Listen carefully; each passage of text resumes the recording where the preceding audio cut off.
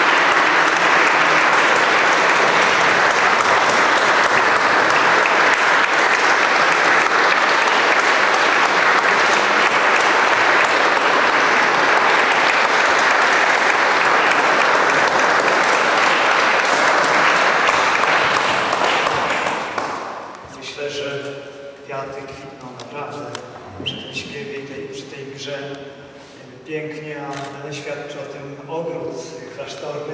W domu też, jak ojciec Tomasz czasem próbuje akustykę danego pomieszczenia, no wszystko wtedy lepiej rośnie i cieszy to ucho. Ojciec Andrzej Kowalski napisał mm, ten zrobił zdjęcia, gdzie się styka niebo z ziemią. Ojciec Tomasz wyśpiewał to, co pozwala z tej ziemi do nieba człowiekowi iść. I w tym czasie wielkiego odpustu to na pewno y, skarby takie, które chcemy złożyć Matce Bożej, chcemy jej oddać. Ona y, tutaj obrała sobie tron i chcemy ją chwalić i takim śpiewem, i takim talentem. Ojciec Tomasz to czyni nie tylko na tym koncercie, bo jak e, przychodzicie mm, na nabożeństwa, jak jesteście w czasie e, Triduum Paschalnego, to Ojciec Tomasz śpiewy zawsze prowadzi.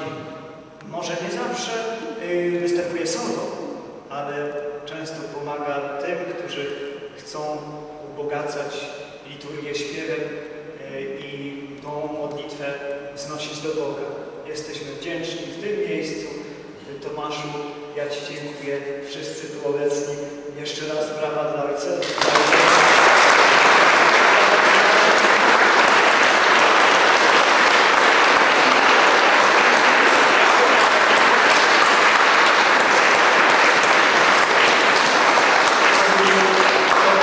To był pierwszy raz tak, na Wielkim Odpuście, ale wierzę, że to nie raz ostatni.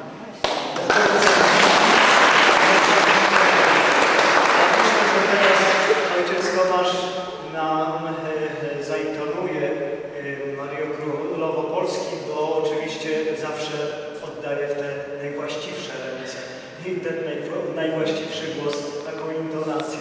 Dlatego do Matki Bożej